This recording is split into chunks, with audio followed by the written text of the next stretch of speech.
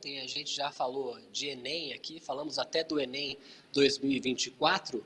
E hoje nós estamos aqui para comentar sobre a redação do Enem e dar dicas para quem está nos ouvindo aí, que tem se preparado tanto para essa prova, como que eu devo me preparar para iniciar uma redação, para trabalhar esse processo todo de estudo aí durante o ano. A gente sabe que o Enem abriu as inscrições de 2022 agora na terça-feira passada e hoje eu estou aqui ao lado de uma professora experiente que sabe muito sobre isso, é a Michelle Orsi, ela que vai falar para a gente. Michelle, muito bom dia.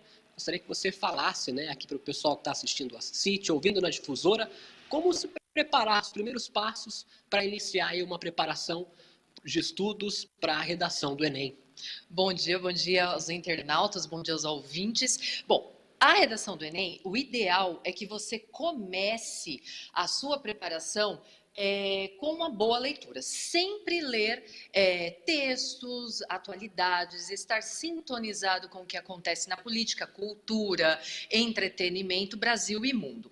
Outra é, parte muito importante para a redação do Enem é a estrutura. Se você não sabe como faz a estrutura do Enem, então esse é o momento, chegou a hora, não tem mais saída, porque a estrutura do Enem é diferente da, da estrutura da dissertação argumentativa de uma VUNESP, de uma FUVEST, creche, né? Ela tem a proposta de intervenção, que os alunos têm bastante dificuldade, porque é aquele momento que você tem que fazer uma intervenção, tem que propor alguma solução para o, para o problema. Então, a redação do Enem, você tem que ter ali um conteúdo é, da, dos acontecimentos, tem que saber a estrutura e tem que se preparar, fazer um texto por semana é o ideal. Não precisa fazer uma redação por dia. Não, calma, fiquem tranquilos.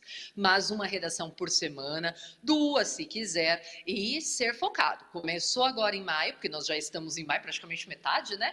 Começou agora em maio, vai até novembro. E aí você vai ali uma redação por semana. O ideal sempre é que você peça para uma pessoa é, que saiba redação corrigir dar dicas para você do que você está errando. É bom saber estar sintonizado com a gramática, a gramática normativa, tá, gente? Cuidado aí, internetês, cuidado com a linguagem neutra na redação e muito cuidado também com abreviações. Nós estamos muito acostumados né, com as mensagens assim rápidas e muitos alunos se prejudicam no Enem porque abreviam palavras ou juntam o o que tudo junto.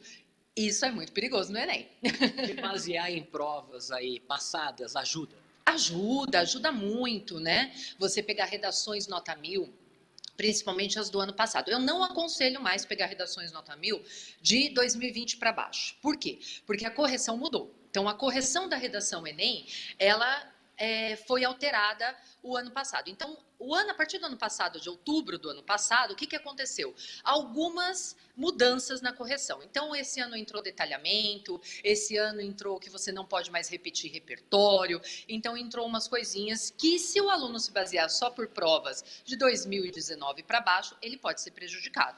Então, pega ali umas redações de 2020, 2021, e aí você consegue ter uma base de como forma, como é a estrutura da redação Enem. Michele, você que é professora aqui do Entre Letras, recebe diversos alunos, não só pessoal, é, presencialmente, mas pela internet também. Quais são as principais dúvidas né, de quem tá, te procura?